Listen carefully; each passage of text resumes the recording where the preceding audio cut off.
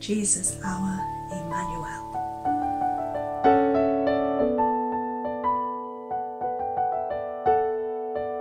As winter falls, the mind will shift to making lists and buying gifts. The high point of the year is here, to get our fill of festive cheer.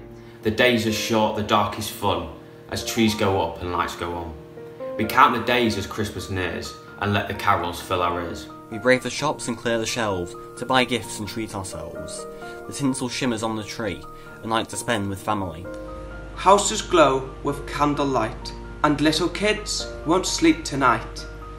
Eyes look up to the sky for snow, while songs play on the radio. Oh, I wish it could be Christmas every day, they say.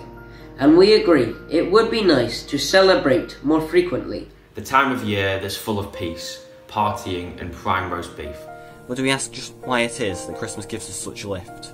And why we stand for hours in queues to chase away those nagging blues? The adverts promise peace and joy.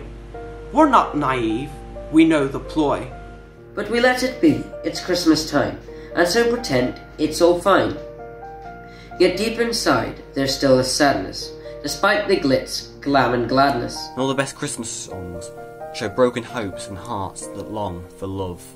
And all the while, that baby in a manger is still a stranger. So let us stop and talk a while about that meek and mild child. The one who, driven by his love, would lead the side of God above. And come to earth to be a man, to show his light in our dark land.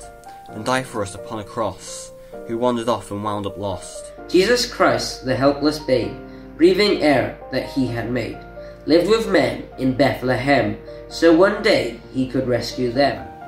As angels cried out at his birth, goodwill to men and peace on earth, the only king in whom men trust, Emmanuel, God with us. Emmanuel, God with us. Emmanuel, God with us. Emmanuel, God with us.